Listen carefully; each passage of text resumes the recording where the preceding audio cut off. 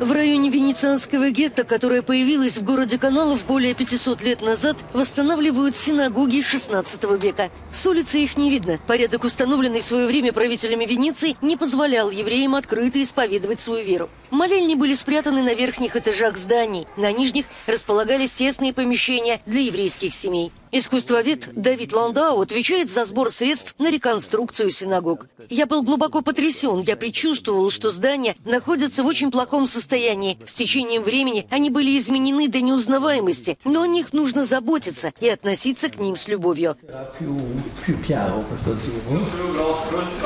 Глава еврейской общины Венеции Дарио Калимани считает, что проект реставрации необходим городу.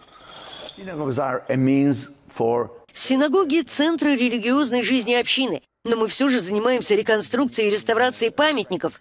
Будучи малочисленной общиной, мы сами не можем справиться с этой задачей. Еврейская община Венеции насчитывает всего 450 человек. На сегодняшний день на восстановление синагог собрано около 5 миллионов евро. Если удастся получить остальную часть финансирования, работы могут быть завершены к концу 2023 года.